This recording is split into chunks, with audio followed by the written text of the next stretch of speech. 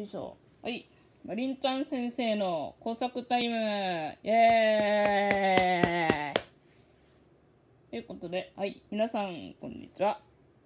今日はですね、マリンちゃん先生の工作タイムということでやっていきたいんですが、えっとね、ちょっと外の、外のベンチ、の軍艦島の続きが、ちょっとこの連日の暑さで、なかなか進めないので、ちょっと今日はね、また、えー。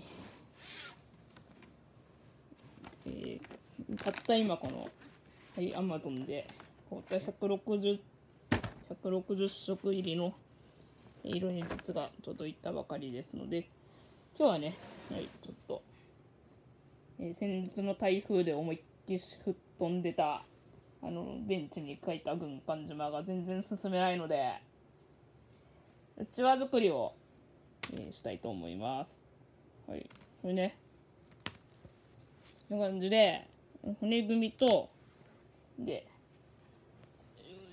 これね、あの、自分で、シールになってるんですけど、これ自分でなんか好きな絵を描いて、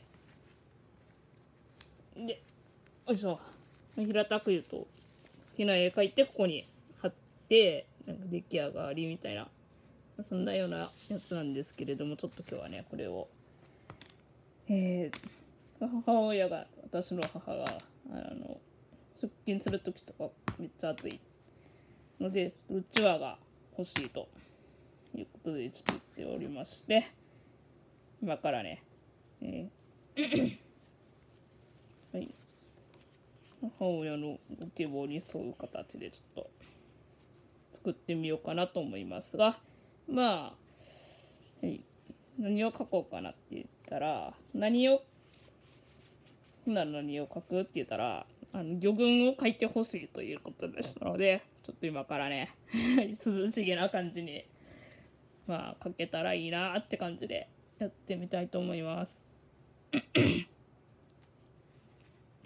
はい。で、ちょっと、ちょっとこんな感じで、裏面は、裏面になるとこはちょっとまあ、先にどんな感じかなっていうのは書いて、下絵は書いていたんですけど、その表面を、魚群、表面の魚群を描くところを少し撮影していこうかなと思います。はい。ので、まあ、そうですね。大体1コマ10分程度ぐらいで撮影していこうかなと思います。まあ、最初からもう言っときますけど、毎度のことながらね、えー、私めっちゃ下手くそですのでね、ほほんまに 期待はせんといてくださいね。はい。よいしょ。まあね、ちょちょちょちょじゃあ、カメラスタンドこのぐらいでいいかな。じゃあ、パート1では、まあ、軽く下絵を描くところでも撮影していこうかなと思います。位置がこの辺？この辺？ね。この辺でいけてるかなちょっと待って。あいけてるかな？これで手元が取れてるかな？はい。よいしょ。よいしょ。ほんなら、はい。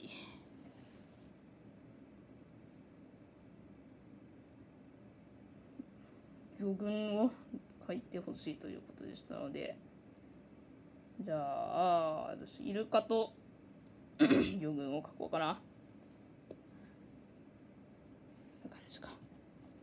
そんなに、あれかな、難しくはないかなと思いますので、だいたいその辺で、お魚さんですね。ちょっとライトがあんま意味ないかもしれないな。このぐらいでいいかな。暗いなライトが。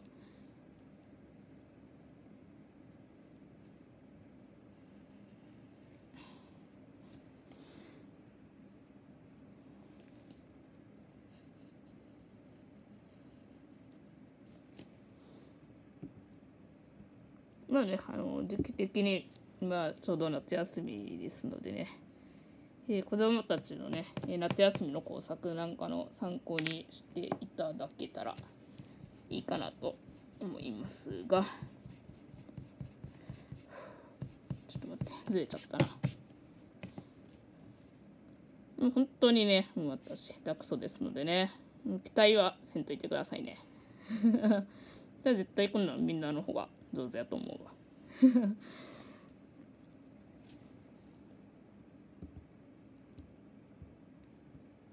だいたいこんな形っていうか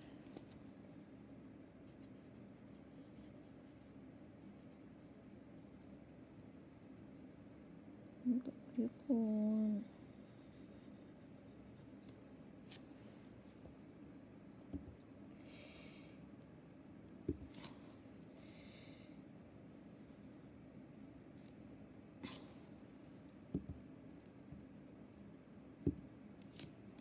いるか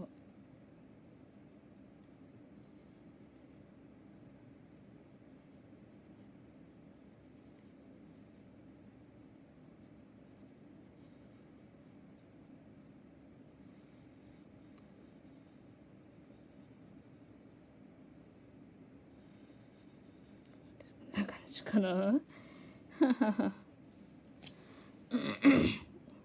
ルカちゃんだいたいこんな形だよみたいな感じでいいかな。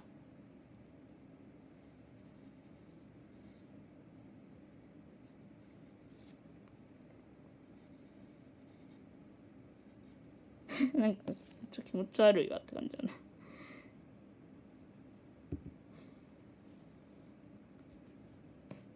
はいルカちゃん。ちょっとちょっと魚群ですね。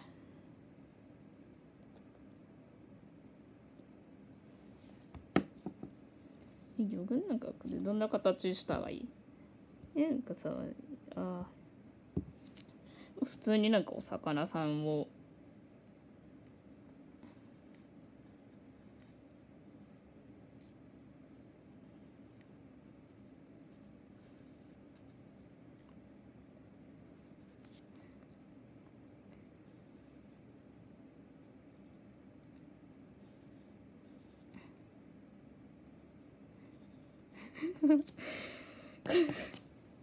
こんな感じ。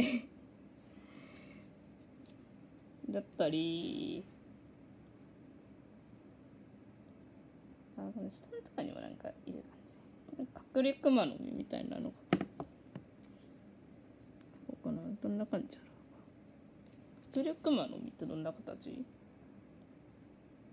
あこんな形か。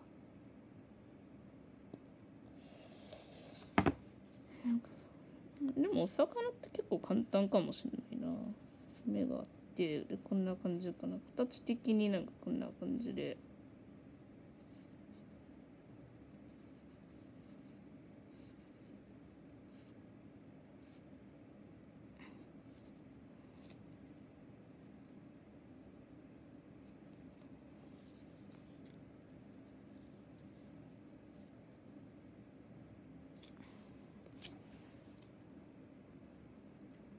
黄色い。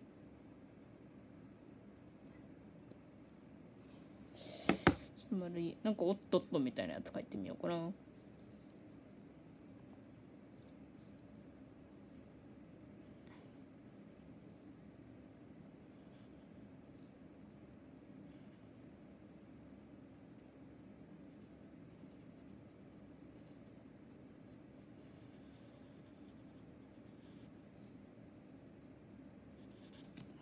だったりとか。は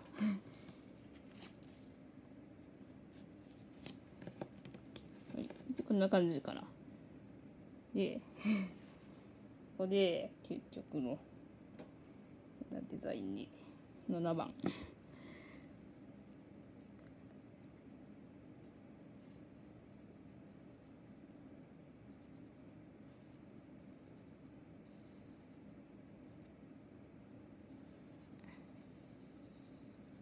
こんな感じ。ちょ何分経ったかな？あちょっと。はい難しいな意外と。あこんな感じで。本当に一部ですけど。まあ、下絵をまあ下書きですね。こんな感じで描いていって、まあ、色を塗っていくという感じでやっていこうかなと思いますので、まあ、こんなね同じ工程ばっかり長々と撮ってても眠たくなるばかりやと思いますので一旦、えー、ここで終わりにしてまた色塗り工程になったらちょっとだけ撮影したいと思います。はい、それでは一旦終わります。